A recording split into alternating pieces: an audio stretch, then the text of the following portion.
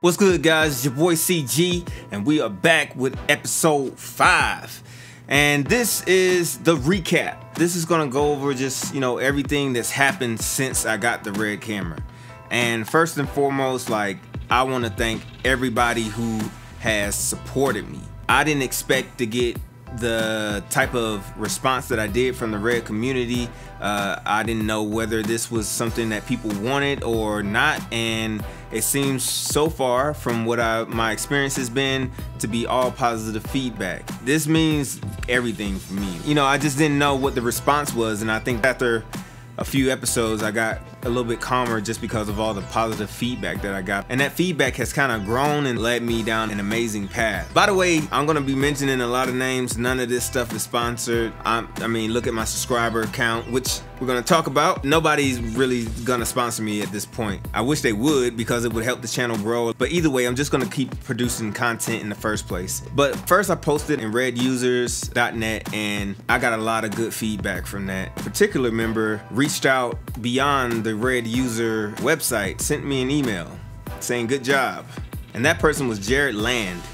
And kind of caught me off guard because I was like, I don't know what to expect. I'm kind of confused. I'm thankful, appreciative, all that. And he was like, Yeah, that's exactly what I thought that when I seen your operation. I was like, Okay, cool. And I'm hoping to connect a little bit more with the with the company. I don't know exactly how that's gonna go, but that doesn't stop me. I wanna be more involved with the company to go beyond just the, the DSMC1 body and get into the DSMC2 bodies and become like a certified red repair center. That would be amazing, but I mean, for the time being, I have my niche right now and that's working for me. I wish I could get more involved with the company. That would just help out when I'm presenting information to you guys. On the other side of that, because I'm still trying to figure out my way of presenting this to them to make them feel like okay let's help him. I've moved on to other things. I also posted in a group called red camera on facebook. I get a lot of good feedback from there. Um, right now i kind of have an, a surprise episode coming up. I'll tell you later on in this what what's what happened.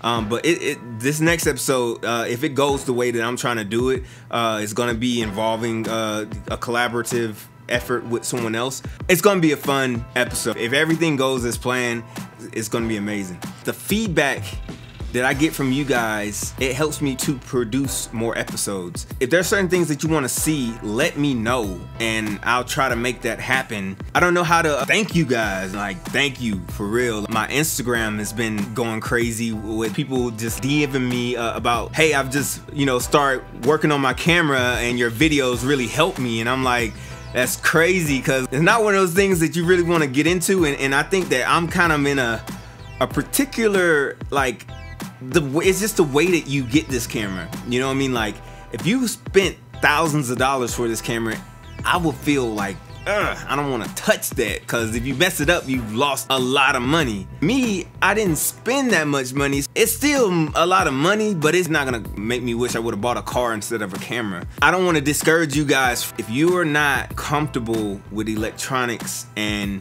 you're just trying to follow a tutorial like you follow a cooking guide, I'm showing you that it can be done and what I do. But there's also a lot of thought process behind everything that I do it's step by step, but I'm just showing you that this camera can be repaired. Seek my advice like one on one. How I think when I'm doing this may not be the way that it relates to you. And, and if, if you're seeing it and it's like, oh, this stuff makes sense, great and you're comfortable with doing it, great. Everything that you've seen was in my discovery phase. Now I'm in the, I've discovered, and now it's just the elevation stage, getting into the Dragon sensors, the DSMC2 bodies. That's where I'm at right now. That elevation comes at a price. If I can get more bodies and, and just explain more, because I have a lot of curiosity on the Dragon. Because like so the Mysterium on the Scarlet is capable of going to 5K, but the actual shooting resolution is 4K. But if you go to a Dragon sensor, then you're able to go to 5K. I'm trying to like wrap my mind around what's the deal. Did they put a chip in that had more RAM from the Scarlet and then just watered it down? Because from what I'm seeing, if it, I have a theory.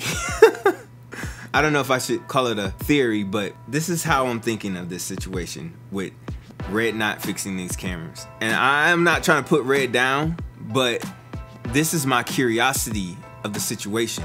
How can you not repair the Mysterium, but you can repair the Dragon, which has the same body? I can understand if you say, hey, we can't repair the sensor, but we can repair the Epic X body and the Epic, the Scarlet X body. So if you have a sensor issue, then cool, I get it. We don't have any more, we're not doing that sensor anymore. But to say that you can't repair it at all,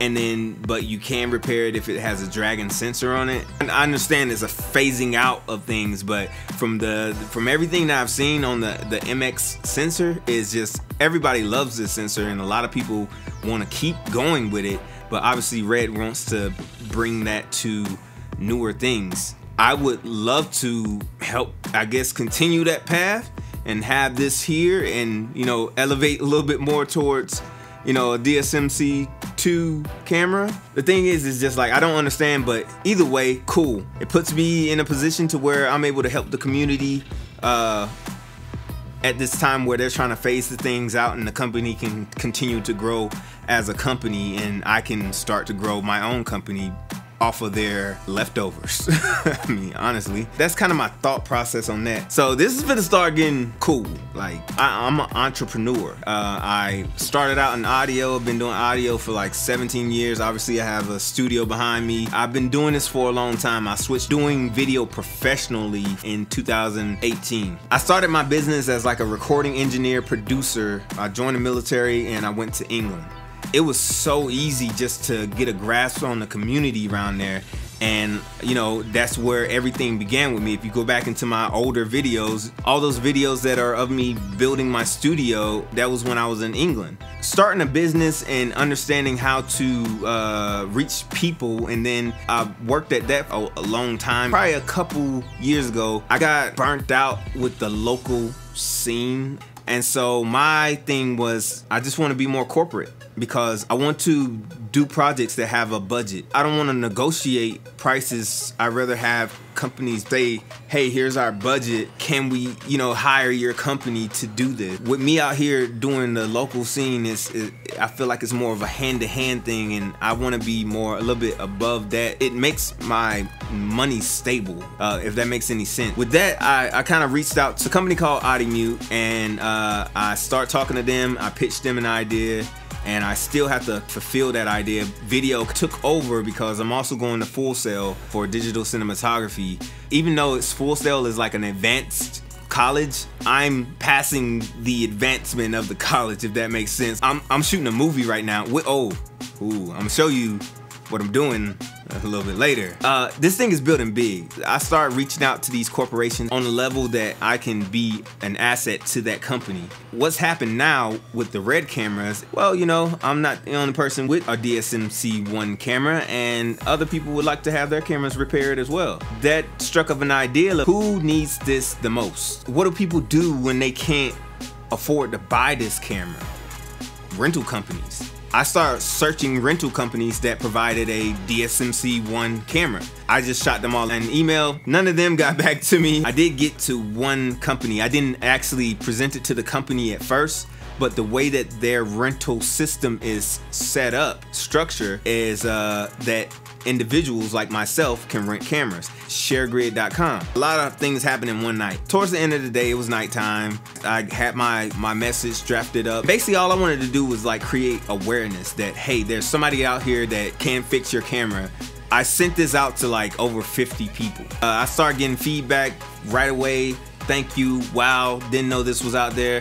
Glad you messaged. I did this to the LA crowd. I was getting ready to gear up for the Atlanta crowd. I stayed up real late, like sending out those messages. And I wasn't trying to spam people. My channel isn't hasn't grown and matured enough to where people know that hey, this guy's out there. It's getting there, but it's just coming up. And I don't have any sponsors behind me. And I have to do this on top of school, on top of actually shoot. Like, I've got so much stuff going on, which is why now I can create so much content. I got a message back.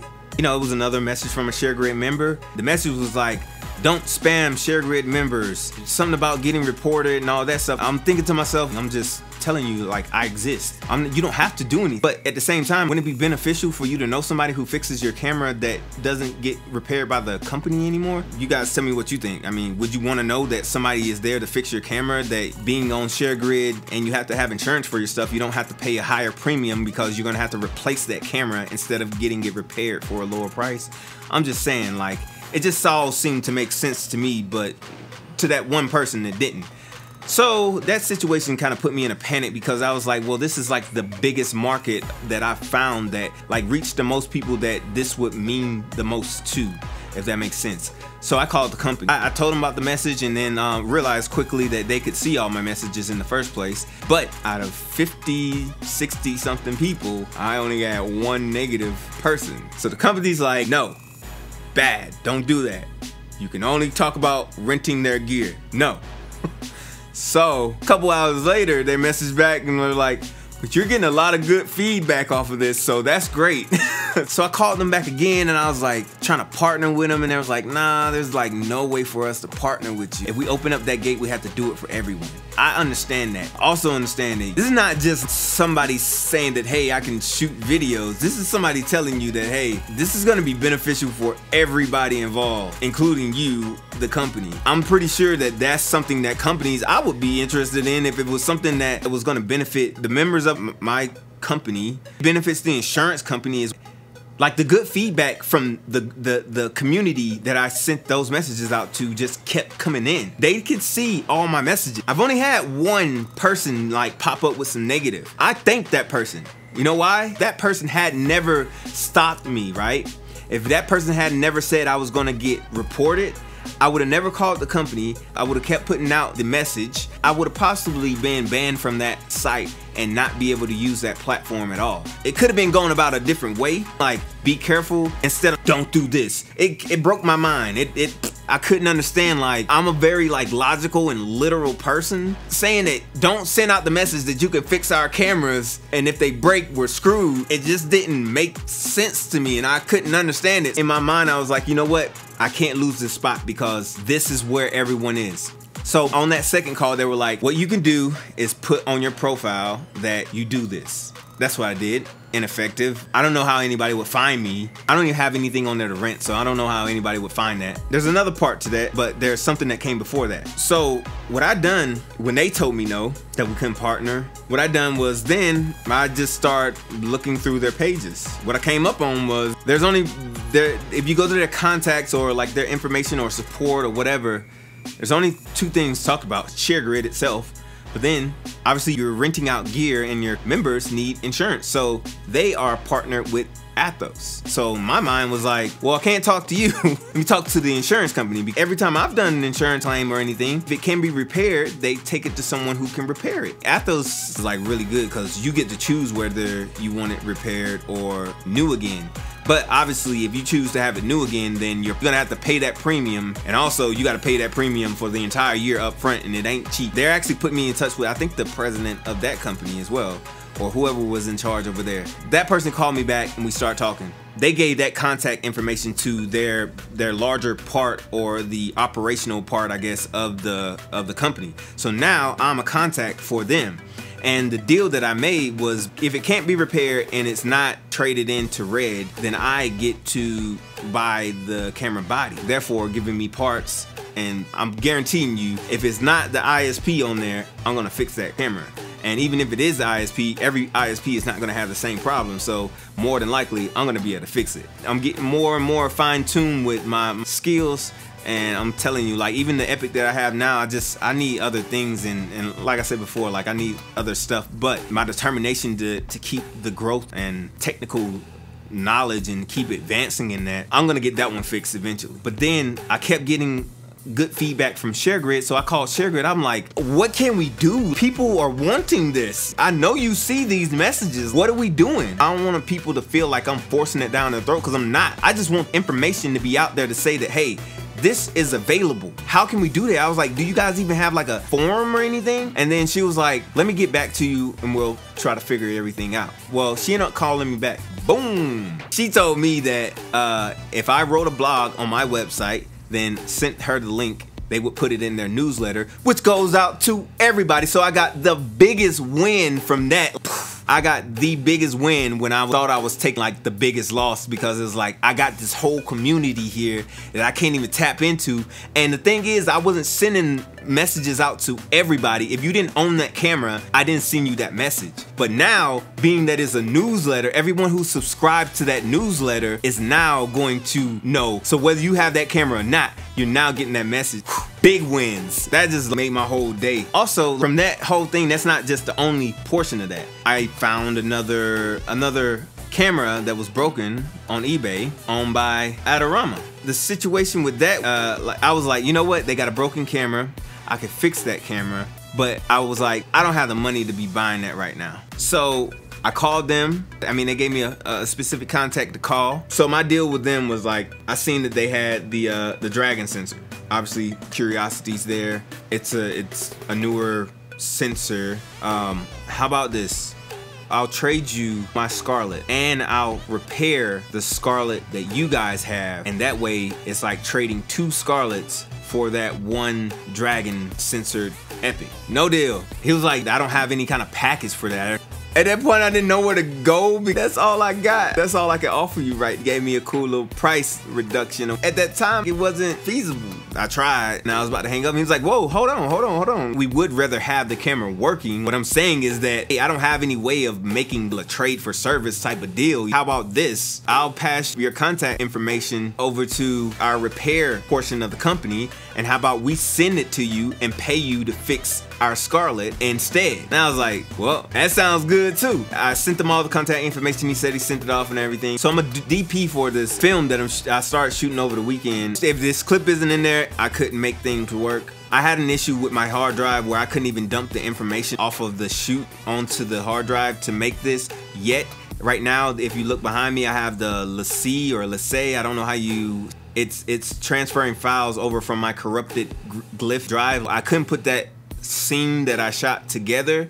Uh, if it does end up in this video, then that means that, you know, I did get it together. But if it's not in there, then just know that I wanted to show you guys. And I started shooting this film over the weekend, made myself some money with my red, you know what I'm saying? And then I called Adorama back up. Can we still get that deal? There's like my big surprise. I have another Scarlet that's coming. There's so much irony. This is gonna be a very entertaining episode. You're gonna see some technical stuff, but this particular camera, there's a story behind it. I'm trying to get the person person who owned that camera back. He has a lot of flashback footage of. I cannot spoil this for you guys. You have to watch episode six. I didn't even know there was gonna be an episode six. If this goes off how I'm seeing it, oh my god, you're gonna die laughing, you're gonna learn a bunch of stuff. It's gonna be epic. No puns intended. It's a Scarlet. Stay tuned for that. So what's next after that. I've been shooting this Red series. This has been fun. I'm at the point where I have to use the things around me. This is real life. I'm financially conscious, but even though I could probably afford to do it, like I wouldn't just do it to create content that I'm not making money from yet or monetizing yet. It just doesn't make sense. So just for me, it's just to go slower, use what I have, and that's something that I learned from audio. That just use what you got and make that work until you can go to the next steps. My next step is uh, is I'm gonna have a series called Atomos Everything. This is a company that create these amazing monitors that record externally, which I'm recording on right now. So I'm recording on my Atomos Shogun because I don't have the, the SSD cards because they're expensive as hell and I'd rather buy more storage for my computer at the same price, 16 terabytes. I don't want to give too much away just because I like to be the first doing things right now. Like, I, am there's things that I never seen before that is going to happen with this, and hopefully the the title Atomos Everything explains what's about to happen right now things that people wouldn't think of as being thought of because that's what I have. I also have another series that I want to create is business tips because I've been groomed into an entrepreneur since I was like two. My dad was, uh, he still is a carpenter. He's at his own business and most of his life, that's all I've known is for him to work for himself. I, there's very few times in life where I've known that he's worked at a job. I've created this business over and over in different countries and different places I could have failed every time, but because of my thought process and how I think, is the reasons that I didn't fail. That's why the series is going to be called The Progressive Mind and it's going to be business tips. Other thing, looking at the title of this video, I'm trying to really grow my channel. I'm willing to go the distance to do that, including to give you guys great content. Last time I checked, I have 216 subscribers. Nowhere near the point of monetization. My deal with you guys is if you share, subscribe, comments, positive comments. I said getting that Scarlet was gonna be the, the special thing, but what I mean by like I'm willing to go the distance to get my channel to a monetized channel what I need is 5,000 subscribers in return this is my promise to all my subscribers, all my new people coming, all my viewers. I want to give someone an opportunity like I had. I wanted a red camera for years. I just so happened to stumble upon this. What I want to do is to help someone who is creative and can actually use stepping up to a red camera. I want to help them out. When I hit 5,000 subscribers, I'm going to start a contest. The winner of that contest is going to get a red camera. By that time, it could be a DSM-C1 or it could be a DSM-C2. We don't know. I am willing to give away a red camera once I hit that point. You will have to earn it, just like I feel like I had to earn the right to sit in front of this lens right now. Once we get to that point, I'll make a whole new video, but this is that's this is my my thing, my pact with you guys, my viewers, my subs my uh, my subscribers, my supporters. That's gonna be my deal. Is that I will give away a red camera working to once I get to 5,000 subscribers. I don't think that's a lot to ask for what you're getting. That means help me help you and help others. I'm, I'm all about giving uh, opportunity to other people when I have the ability to do that. My, I guess, thing in life is just success. I want I would love to help someone else be successful. Like I, that that that means more than having things. Here, red camera. Now I want you to go take this to the next level because me having this camera has changed my life. I've been able to do things that I never thought possible from a business standpoint. I would like to give that type of opportunity to someone else. I'm gonna tell you somebody that I really like. I really enjoy his content. Mr. Beast. That dude gives away so much. I feel like that's amazing. I wanna be like that. I want my YouTube channel to be like that where I can help others that's everything that I have. You guys tune in for episode six next week. Yeah, I don't know what the name of that's to be yet. My next episode will be probably the most popular episode out of all the ones that I have because of the story behind it and people love story. It's to be fun. Stay tuned next week. The next Scarlet is coming. This is your boy CG and I'm out.